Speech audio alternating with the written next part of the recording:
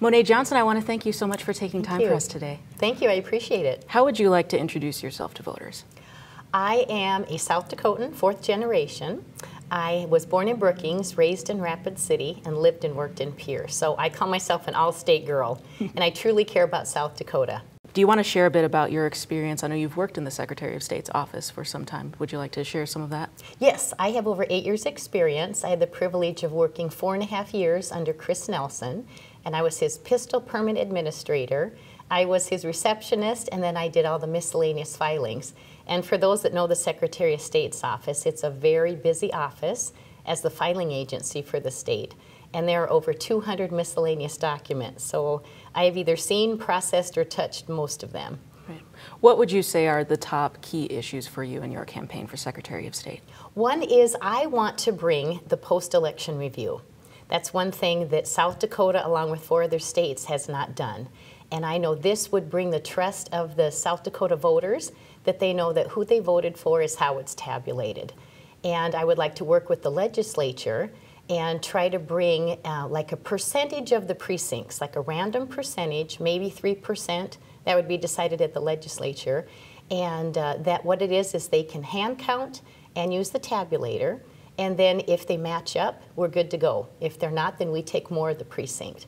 And then this just brings the trust of the citizens, you know, for their voting. Interesting. So is that something that's not happening even at a county level or on more local levels uh, Correct. currently? Correct. It doesn't happen in South Dakota. It never has. Interesting. Mm -hmm. So are there other ways that you hope to in increase the level of trust in our election process? Yes, I think a voter encouraging education. Like I know here in, in Sioux Falls, during the primary, there were some people that received the wrong ballot or they even voted. And uh, so then once you have a vote, you're done. So if you have a person who knows, can print out their sample ballot, actually on the Secretary of State's website. It's sdsos.gov and it's the voter information portal. And that way you can see where your polling place is because that's changed with the redistricting. So that gives the voter more information that you go in there ready to, to cast your ballot. And that way you can also see what your ballot is.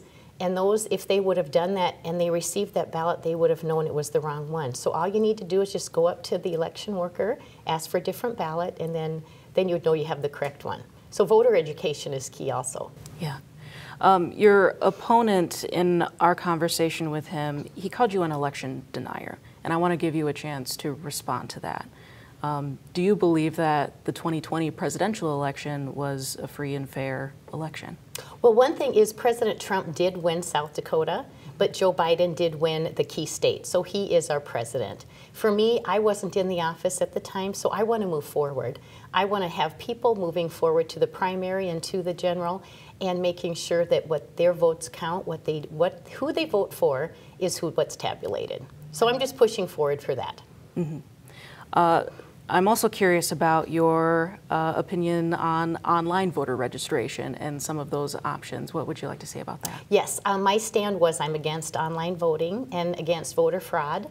I believe that paper ballots, which is wonderful that South Dakota has paper ballots, and we also have voter ID. So that part is good and secure. Mm -hmm. Uh, I watched a, a, video on your Facebook page a few weeks ago. Uh, something you said was you want it to be easy to vote and hard yes, to cheat. Yes. What, what does that look like for you? What does that look like is I want to make every opportunity available to voters in South Dakota and doing complete auditor training and poll watchers so that we can bring that back into the office. Um, that way they know what they're doing is the legal way and following the state law. So I know we need to do more training for the auditors because they're they are hardworking people. They work for you in the county. You've elected them, the county, and they're working for you. So I want to give them the resources that they need. Mm -hmm. Can you say a bit more about the role of poll watchers and, and how that informs your vision? Yes, a lot of them, um, some are paid and some are volunteers, and a lot of people can have a Republican or a Democrat, because this is a bipartisan issue. Um, we need to have them at the elections, and then they can help the voters when they come in. So if someone is out there and wants to volunteer, just reach out to your county auditor, because I'd rather have more people that want to volunteer than not enough. Mm -hmm. Yeah, this is your election. It's we the people. Mm -hmm. Uh, I know access to voting for Native American voters is an important issue for you. Mm-hmm. Say, say more about that. Why is that so key to you? Well, I, for those that don't know, I have three adopted Native American children. I have two that are enrolled, Cheyenne River Sioux Tribe.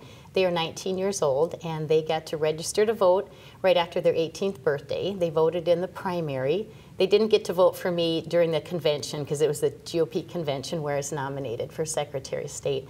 But they're excited to vote for me in this general election, vote for their mom. And then I have another daughter who is enrolled Oglala Lakota. So what I want to do is is help them. I know there's issues where the polling place is, is a, a long ways away, so we need to work with them to make sure that it's easy for them to vote. Mm -hmm. What are have you had some conversations with maybe tribal governments or other organizations in on those lands to get at some of those issues I have, yet? I have not, only because I'm not an elected official yet. Mm -hmm. So I'm just a concerned citizen that has Native American children, but I am ready and willing to work with them. I wonder if you can say a bit more about um, bringing lawmakers on board to conduct these post-election reviews and these post-election audits. Right. Um, do you have a sense of widespread support in the state legislature for something like that? I actually do. Election integrity is uh, very important for a lot of people, and I know with this legislative session coming up, we want to work on one residency because sometimes uh, the, the mail forwarding businesses, you're only here 24 hours. And then you can get your, uh, you can vote, you can get your tags, and you can even get a pistol permit. So I know that we need to work a little bit with that on residency requirements. Uh, for 30 days for people uh, to get their pistol permit regularly, things like that. So I think we need to hone in and do a little bit more with residency. Interesting, yeah. Um, I've been asking many of our candidates this question uh, when it relates to young voters or potentially first time voters. Your kids fall in mm-hmm. roughly yes. that range. Um, how do you explain the role of South Dakota Secretary of State to those young or first time voters? Well, I had a good time at Teenage Republican Camp. Um, my children were there, but it's TARS. And I pretty much said that it's the filing agency for the state. So everything that happens in state government goes through that office and it comes across, some need the state seal, some just need to be filed, but you work closely with the governor's office and the attorney general's office and all the other ones. So if something in that office isn't handling correct, isn't being handled correctly, you know, things just kind of slow down. So we need to work with those, those other offices and make sure it's done correctly. But elections is a huge part of that. So I tried to inspire them that you matter, your vote matters, and you need to get out and uh, take the time to cast your vote. So I asked all of them if they promised that they were going to register to vote, and most of them were pretty close to 18, and or and, and uh, they said that they were going to, because it is it's a wonderful privilege and duty that we have as American citizens, and I love our state motto that says "Under God, the people rule." So I think that that's one thing that I just want to let people know that uh, I'm a Christian and, and that is um, my stand, and that's how I want to uh, bring that across to the citizens that I'm working for you to the best of my ability. Mm-hmm. And I, I also know you're a proponent of small businesses. Yes. Can you help explain the role of the Secretary of State for those small business owners in South Dakota? Yes. South Dakota is a great state to fulfill your dreams of being an entrepreneur, and you can file your LLC or your corporation documents online, which makes it really fast and easy. And then you can just start your business um, um, with the help of the Department of Revenue. You have to get your license, and all you need to do is just full just. Uh, put yourself behind it 100% and then you can market it with uh, those that need to need it to be marketed and uh, then you just let people know what it is that you're you're selling or you're doing or your services and uh, we want to make it easy for those documents to come across. So that's what we, South Dakota is just a brilliant place. I'm glad to be born and raised here, and I just want the citizens of South Dakota and the business owners know I'm working for you. Mm-hmm. I want to give you our last slightly under a minute to uh, any closing thoughts that you have for South Dakota voters on why they should support your bid for Secretary of State. Well, I do have eight years' experience, so I have, like I said, been in the office, and I know and I've touched and and worked and uh, given it my all. When I was working for Chantel Krebs, I did three and a half years working for her. I would commute from Rapid City to Pierre every week, so that shows how committed I was. Leaving my kids at home, uh, things needed to be done, and I just put my all into it. So I care about that office. There's a there is a, so much history in that office, and one of the last projects that I did was taking all of the executive proclamations from the beginning of statehood till about the 1970s when Governor Kneip was in office. And uh, they got it on microfilm, microfiche, and then uh, gave it to me in PDFs, and I got to read each one. I got to name it and date it, and then save it, and then they put it up on the website.